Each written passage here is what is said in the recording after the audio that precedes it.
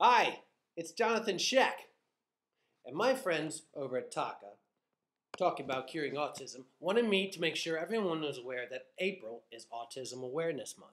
And they are promoting Jeans Day for Autism. What is Jeans Day for Autism? Well, it can be any single day or series of days that allows companies, employees, and employers to demonstrate their commitment to families living with autism. On Jeans Day for Autism, businesses are allowed and encourage employees to take off their suits and ties and wear their jeans in return for a charitable contribution to TACA.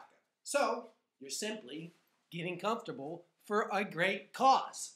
So, how are funds raised? Funds are raised by employees making a donation to TACA for the privilege of wearing jeans for the day. Companies may opt to match their employees' contributions. Interested in participating? Go to tacanow.org and sign up.